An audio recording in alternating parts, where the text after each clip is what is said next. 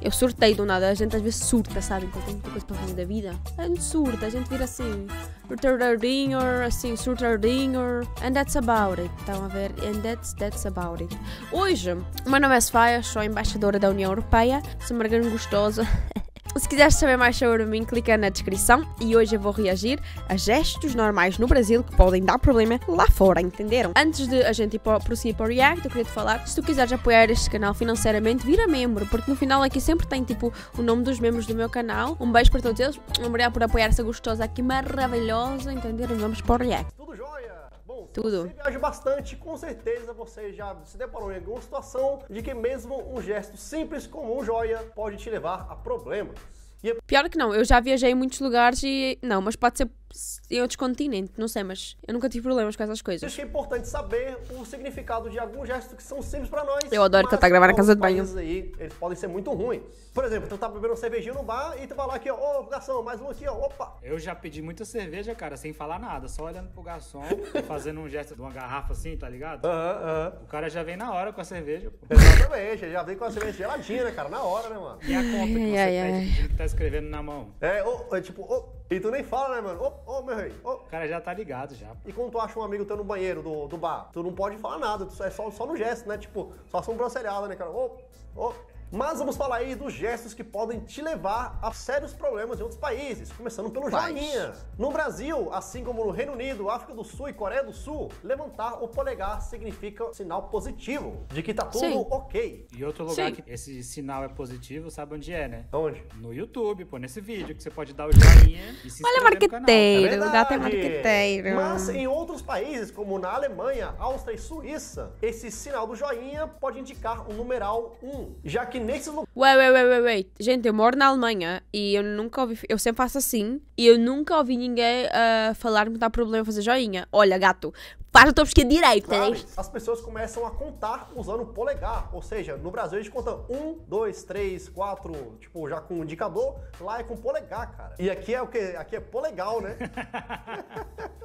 Mas não se preocupe, se você for para Alemanha, Áustria e Suíça, esse gesto do joinha vai só indicar o numeral mesmo, não vai ser nada ofensivo. No máximo, Não, não, não, mentira. Isso também é joinha. Eles fazem para sempre ouvinte, o que é que é isso?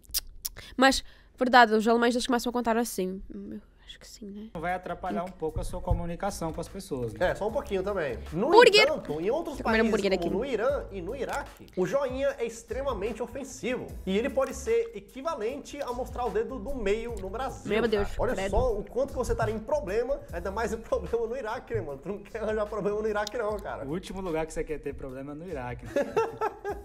Olhar o relógio. As pessoas que olham pro seu relógio no meio de uma conversa podem ser consideradas extremamente lá no Oriente Médio. Ao olhar o relógio, a pessoa dá a sensação de que está com pressa e quer se afastar. E nessa cultura ali no Oriente Médio, Ah, na Alemanha, sempre que tu chegas num lugar e não tiras o casaco, é muito ofensivo para eles, porque eles acham a mesma coisa. Tu não tirando o casaco, que tu vais querer o fora dali o mais rápido possível. Por isso que os alemães têm muita mania de chegam a um lugar, tiram o casaco logo, ou tiram uma roupa que eles têm, sabes? E eu acho isso assim, bizarro. E eu às vezes não tiro porque eu estou com frio, né? Eu passo frio aqui na Alemanha.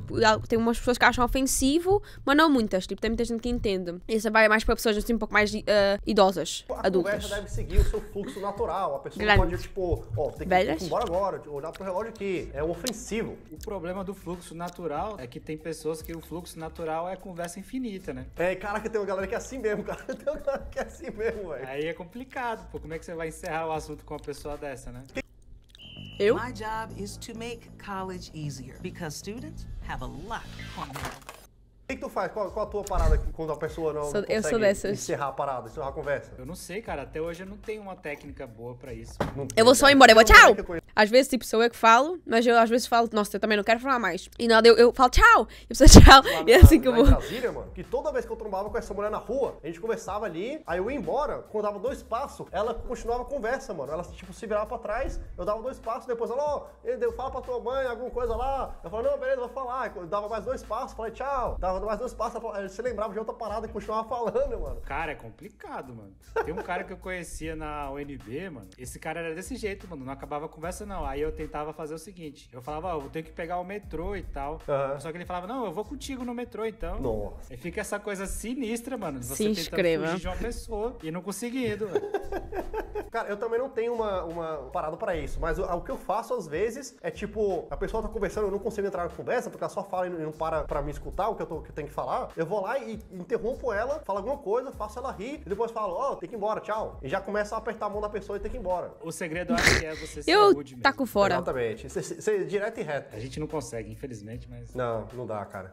Paz e amor. Europeus Fazer um sinal de paz no Reino Unido, Austrália e Nova Zelândia é de boa, desde que seja do lado certo, não do lado errado. Fazer o sinal de V com a mão virada para dentro é, É. algo muito ofensivo, pois nessa região esse gesto está ligado a sinais referentes à guerra.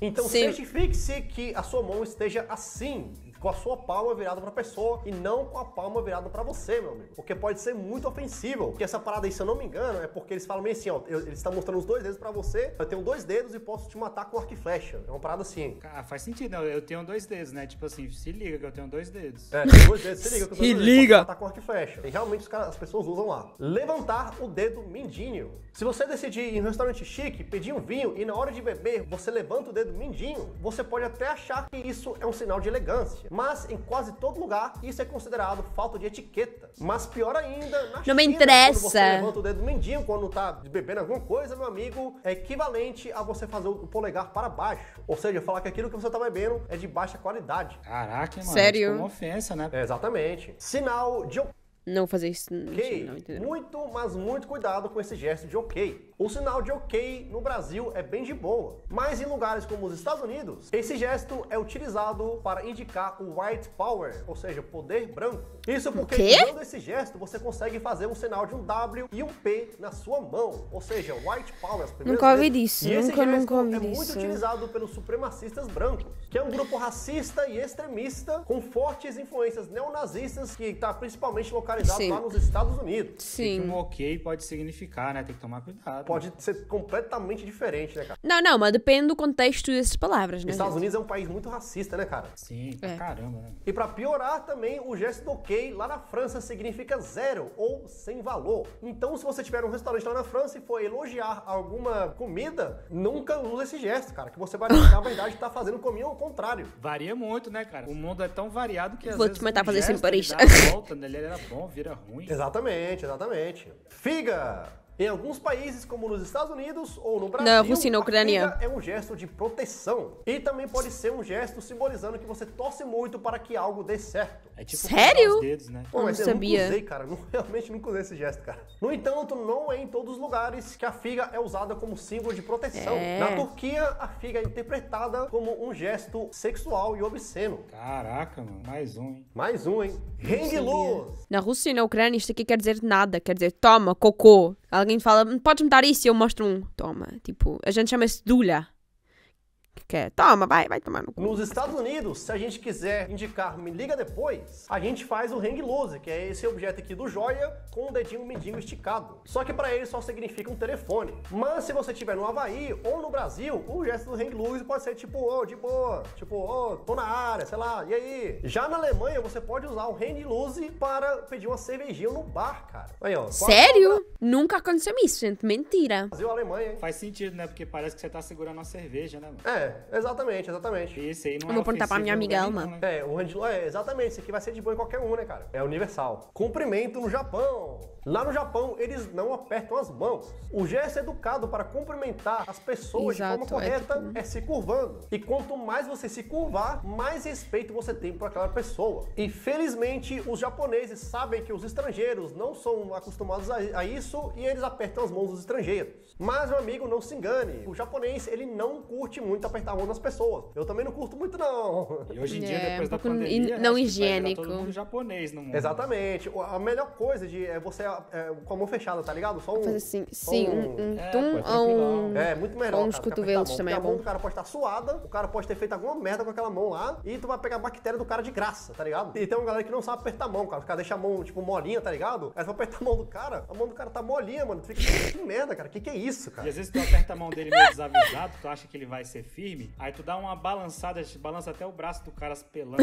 ah, merda. É uma merda, cara. Eu odeio apertar a mão, cara. E falando de apertar a mão, o aperto de mão nas Ilhas Fiji, lá na Oceania, pode ser muito longo. O costume é que o aperto dure o tempo da saudação. Não importa Quê? quanto tempo levar. E retirar a mão, assim, muito rápido Credo. no aperto de mão lá nas Ilhas Fiji pode ser considerado deselegante. Olha aí, o mundo e seus costumes, hein? Já é um lugar meio ruim pra gente que não gosta de apertar a mão. É. E além disso, na Rússia, é muito importante você checar se você não tá debaixo de uma porta ao apertar a mão de alguém. Isso porque os russos consideram isso um gesto de azar. E você não pode fazer isso em nenhum lugar, nem em restaurante, nem num boteco, nenhum lugar lá na Rússia. Cara, isso aí faz sentido, porque se a pessoa tá dentro do estabelecimento, aí ela aperta a mão de alguém que tá fora, ela pode puxar a pessoa pra dentro, pô, pode ser uma emboscada. Caraca, os caras já estão. Os russos são sinistros, né, mano? Caraca, os russos já estão pensando assim na frente, né, cara? Cruzar os braços. Cruzar os braços não significa nada na maioria dos países. Porém, se você Significa desinteresse, Finlândia, né? Você pode ser mal interpretado. O fato de estar com os braços cruzados significa um grande desrespeito por parte das pessoas finlandesas. Isso é um sinal de arrogância e de desafio. E também é feito para você falar aí para as pessoas à sua volta que você está à procura de encrenca, que você quer briga. Tô com o braço cruzado aqui, tô com raiva, eu quero, quero Meu treta. Deus.